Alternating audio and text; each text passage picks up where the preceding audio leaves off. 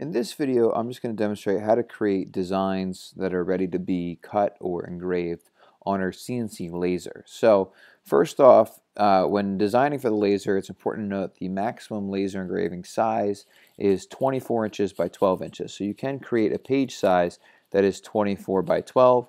You do not have to. The most important thing is that you're designing in inches. So that way if we import your design to a 24 by 12 page, um, it is scaled properly. So at the very least, make sure you're designing in inches, but if you want to design 24 by 12 so you can get an idea of the, uh, the laser bed size, you can do that. A laser can create three different types of cuts, or functions I should say. Um, we have vector cut, which cuts all the way through vector draw or vector engrave, which like you can see here is just kind of a score or a perforation, so it's kind of an etching. It's a very thin, thin line. And raster engrave, which is kind of like your fill and engrave here.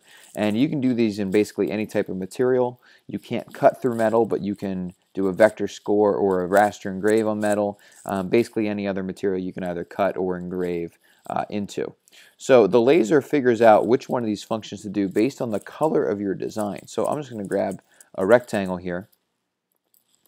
Red, a red outline, um, if we were to go into here, so a red outline, forget about fill for now, a red border would be a cut, a vector cut all the way through. So if I were to go ahead and turn on the red border, that would show the laser that you want to cut all the way through. That's what red means. A blue border, so I were to change this to say blue, That is a vector engrave, so that is going to do the, the score line, the little perforation cut.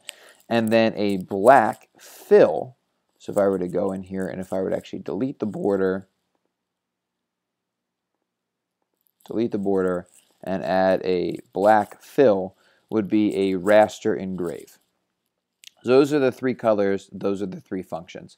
By de determining the color of your design, the laser will go ahead and create one of those types of cuts or engraves. Now as far as setting the power and the material, all that's done at the machine, but from the design side, you just need to be designing with those three colors. And what you might be thinking is that, well, how does it know that it's the right shade of blue? Well, there is a very specific shade. So in order to get the correct shade of blue, what I recommend you do is I recommend you import my swatches here. So on your color menu, you have this swatches tab, and there's this little import and export swatches.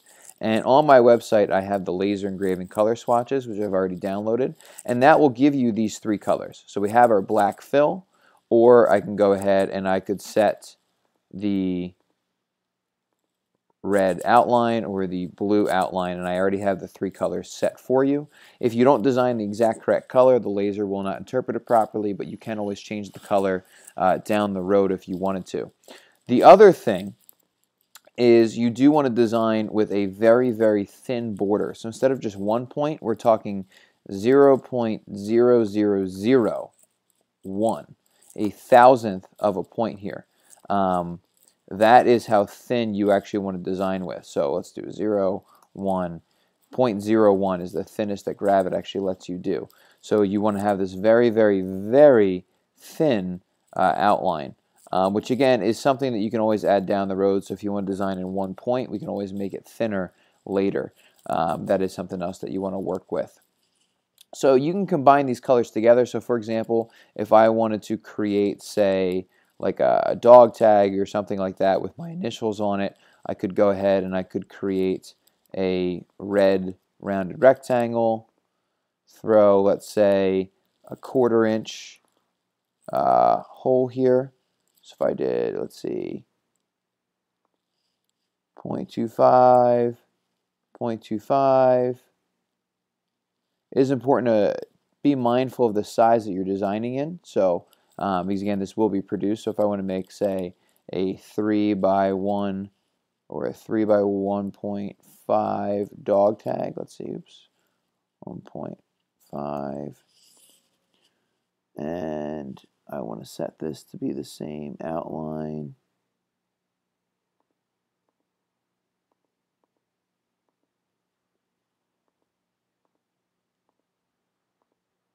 So we're going to set the border. We're going to make the border red because that means cut through. I'm going to go ahead and I'm going to group these shapes together after I align them properly. So we, of course, want to put the hole up towards the top.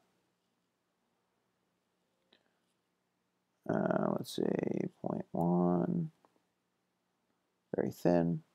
Let's group like so. Might be hard to see, I'll zoom in here. And then if I say added a text box with my initials, I could make that the black fill, and that would then engrave. So we would have a vector cut for the dog tag, and then say um, a raster engrave. And if I wanted to, I could even combine more than one thing together. So what I could do is I could do, say, a uh, raster engrave. So let me just go ahead and let's convert this to being an outline, like a path here. Let's group that together. Oops, modify path. Split the path up merge that together. So that would go ahead and that would actually engrave it. And if I wanted to, I could then add a border and I could do, uh, say, like a vector outline around it. If I wanted to. So those are the three colors to work with. That's the main idea.